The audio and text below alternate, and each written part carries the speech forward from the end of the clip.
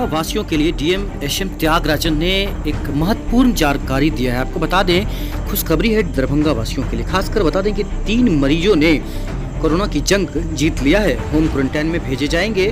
जिलाधिकारियों ने उनके स्वस्थ होने पर बधाई दिया है।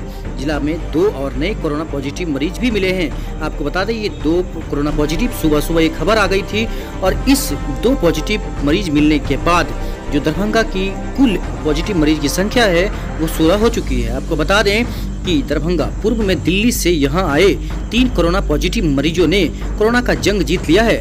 वे सभी पूर्ण स्वस्थ हो गए हैं। आज 24 घंटे के अंदर दो बार इन लोगों की जाँच कराई गई। दोनों बार जाँच रिपोर्ट निगेटिव आया है।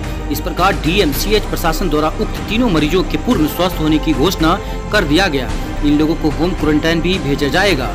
जिला अधिकारी दरभंगा डॉक्टर त्यागराजन एशएम ने उक्त तीनों कोरोना मरीजों के द्वारा कोरोना बीमारी को हरा देने पर हर्ष व्यक्त किया है। ये पहला मामला है दरभंगा जिला में कि जो कोरोना पॉजिटिव मरीज़ थे, वो स्वस्थ होकर घर जा सकेंगे। उन्होंने डीएमसीएच के सभी चिकित्सकों, पारा मेडिकल स्टाफ सभी कर्मियों सहित तीनों मरीजों को बधाई दिया है।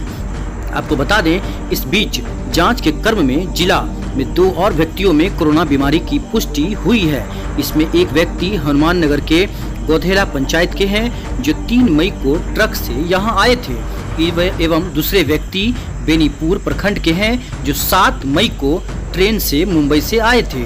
इन लोगों का रैंडम सैंपल किया गया था और आज जाँच रिपोर्ट पॉजिटिव पाया गया है। इसी जाँच रिपोर्ट पॉजिटिव मिलने के बाद दरभंगा की जो कुल पॉजिटिव मरीज़ की संख्या है, वो सोलह हो गई है। वहीं जिलाधिकारी द्वारा बताया गया कि इन लोगों के जिला में प्रवेश करते ही क्वारंटाइन कर दिया गया था।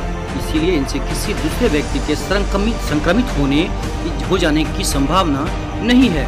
कहा कि इन्हें डीएमसीएच के आइसोलेशन वार्ड में शिफ्ट कर चिकित्सा की जा रही है।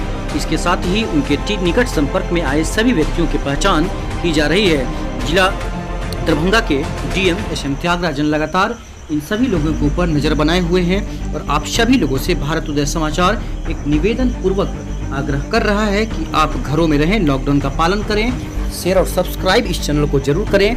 देखते रहें भारत उदय समाचार। आपको बता दें कि लगातार लॉकडाउन के बीच सभी लोगों से आग्रह किया गया था कि अपने अपने घरों में रहें अपने अपने घरों में रहकर सोशल डिस्टेंसिंग का पालन करें। खासकर आपको बता दें कि मास्क पहने और इस बीच जो लोग प्रवासी मजदूर हैं, जिन्हें बाहर से आने की छूट दी गई है, जो ट्रेनों से आ रहे हैं, उनके ऊपर भी नज़र बनाने के लिए कहा गया है। और ख़ासकर जो लोग ट्रेन से नहीं, अगर सड़क मार्ग से आ रहे हैं पैदल आ रहे हैं, उनके ऊपर ज़्यादा नज़र बनाए रखने की ज़रूरत है।